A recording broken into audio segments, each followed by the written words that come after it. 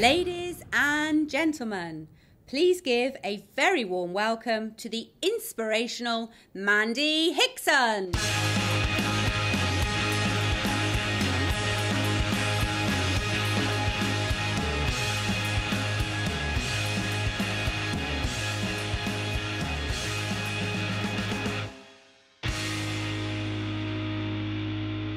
Um, but what on earth has a fast jet pilot got to do with us here at the SAP user group? What I hope to be able to do over the next three hours, all right, next 45 minutes, I'd just like to share a few of my experiences of my time operating on the front line. And I'd like to use those as a vehicle to investigate some of the key areas that are common to every single one of our working practices. But I'm very aware that a picture can paint a thousand words. So without further ado, ladies and gentlemen, please step into my office.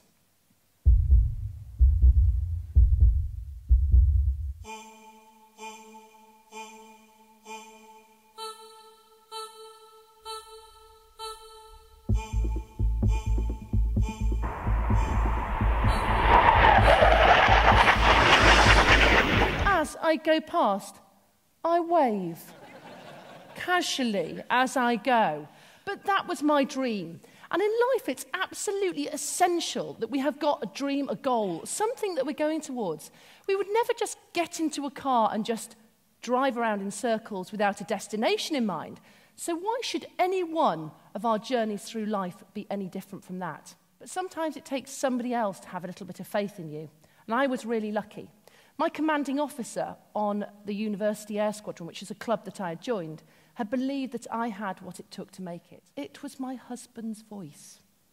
It went like this Where's my sexy woman?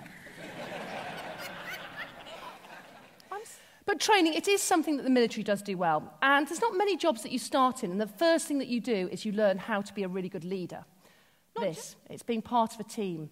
It's actually coming together when things are really tricky and actually going the extra mile. And we will be making decisions and we will be held accountable for those decisions. He said, he said, no, no, no, no, we're not going to the bar. You've just got to trust me. Now, I've been in training with Rob for four years, and when someone says trust me, that's a very powerful thing. And I thought, well, you know what? Absolutely true. It is paramount in any walk of life, in any job that we're in, that if we are in a really good, highly efficient team, how great does that feel when everyone is working together really well? Seat.